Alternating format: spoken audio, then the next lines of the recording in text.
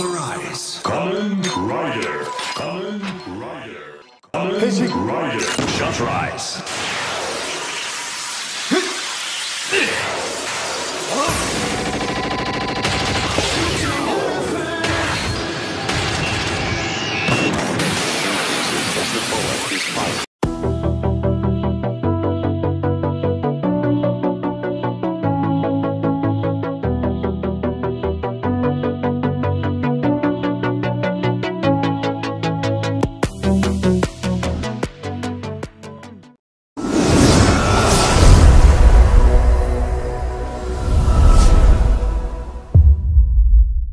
Yo yo yo, what's up YouTube? Balik lagi bersama gue Michael dari Mananku. Hari ini kita mau unboxing figur Kamen Rider lagi ya. Ini lanjutan yang kemarin. Ini uh, anggapannya Zero, eh, seri keduanya dari Zero One.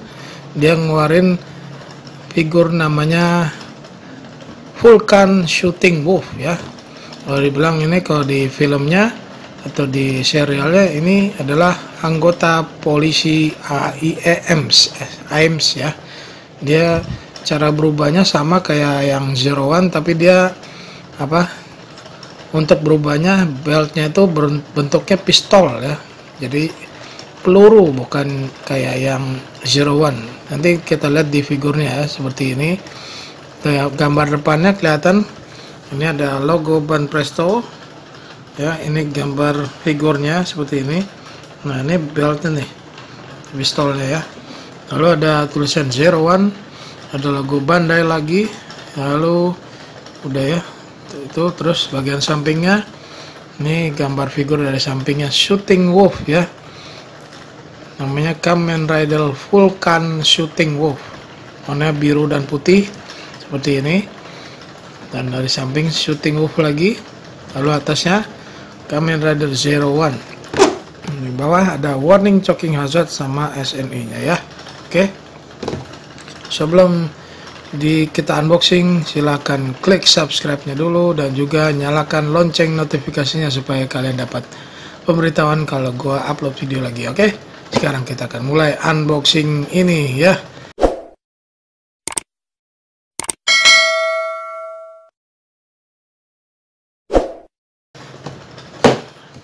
Oke, kita akan buka dari bawah seperti biasa. Ini baru dapat, ini baru keluar malah ya. Kalau salah baru baru kemarin keluar atau dua hari yang lalu lah ya. Ini masih fresh banget kalau yang Rising Hopper itu udah sekitar semingguan lah kalau nggak salah. Ini baru baru baru sehari ya. Oke, kayak kemarin ini disegel lagi bagian kartonnya ya kita buka aja.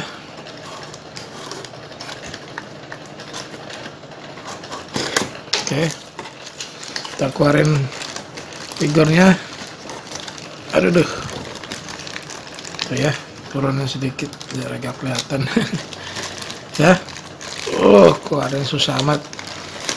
Ah mantap. Oke kita beresin dulu kardusnya. Oke, kita akan pasang atau rakit figurnya ya. Ini seperti kemarin terdiri dari tiga bagian, yaitu bagian badannya dan mukanya, lalu bagian kakinya, dan yang ketiga bagian base-nya ya, sama seperti kemarin. Base-nya segi 6 ya. Ukurannya kayak sama ya gedenya ya. Tapi ini warnanya biru dan putih. Kalau kemarin kan kuning neon ya kuning nyala kalau ini biru dan putih ini kalau di filmnya itu dia berubahnya itu susah banget kayak buka buka apa buka kasetnya tuh kayak keras banget begitu kebuka dar langsung dia bisa berubah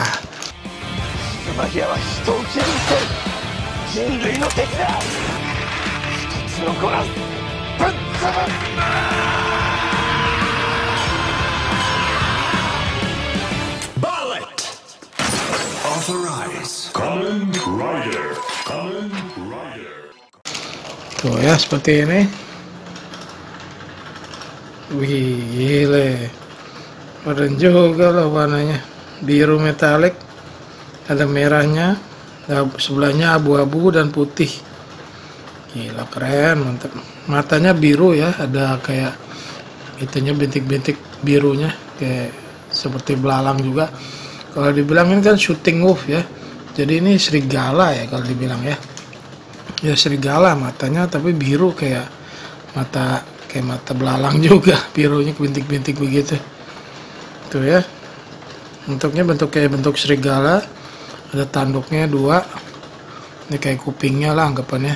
Sampingnya ada giniannya juga. Biru dan merah. Belakangnya sama sebelah sebelah biru sebelah abu dan putih ya. Keren mantep. Keren banget ya. Gila. Oke kita akan lihat bagian badannya atau bagian pinggang dan kakinya. Eh kok belum kebuka ya? Gue betul kebuka nih nah oke. Okay. oke okay, ini bagian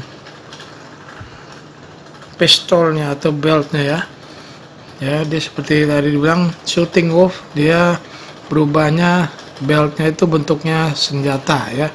Jadi dia ditembakkan lalu ditonjok itunya pelurunya dan jadi langsung armornya ya.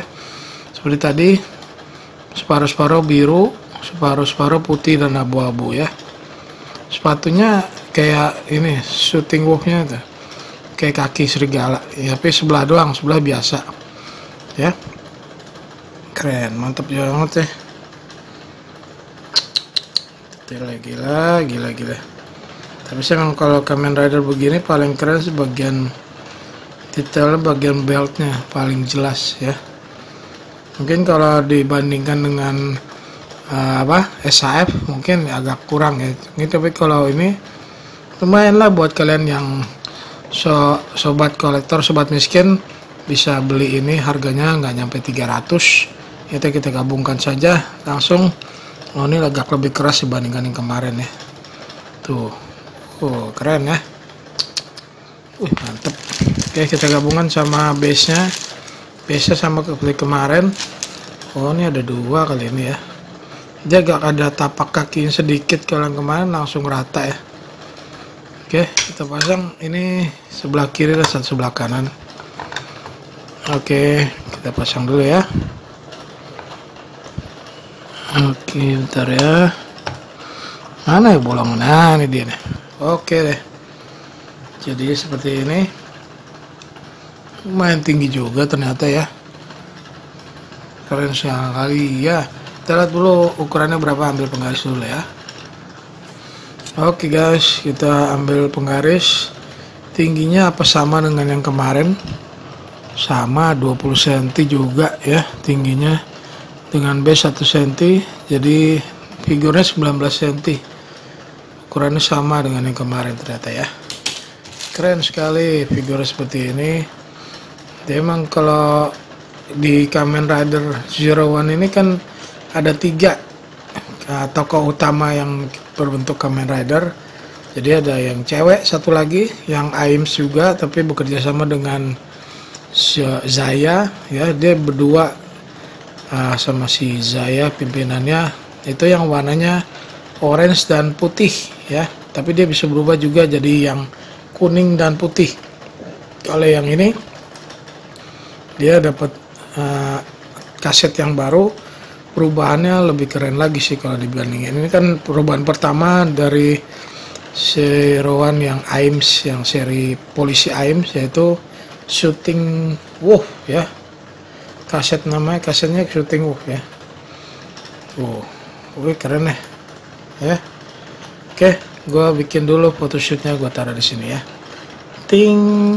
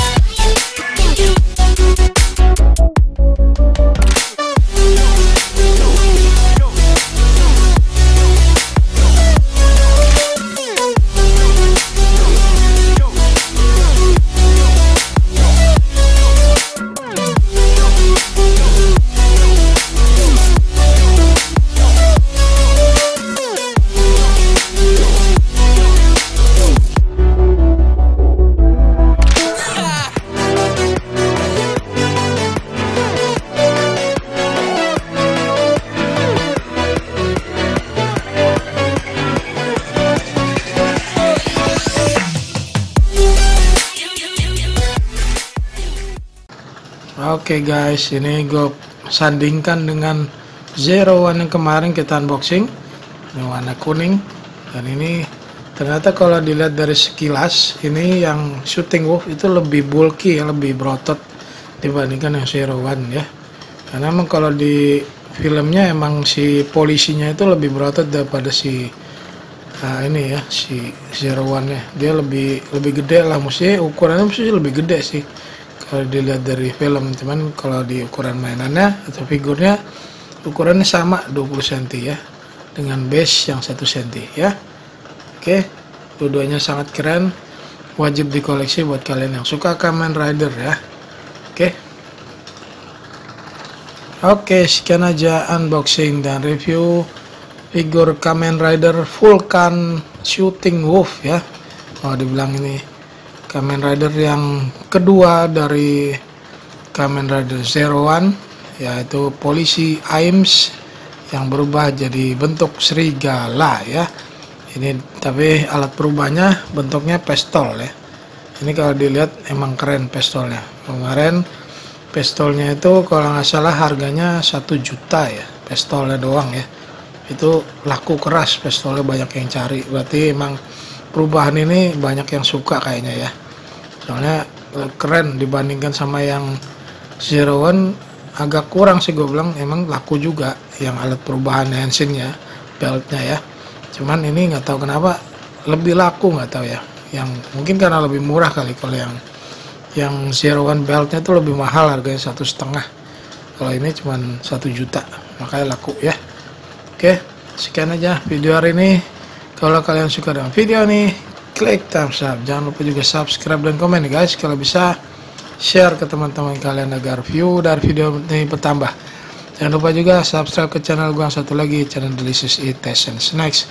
Linknya kalian bisa lihat di description box di bawah. Terima kasih telah menyaksikan video hari ini. Sampai jumpa di video-video berikutnya. Bye.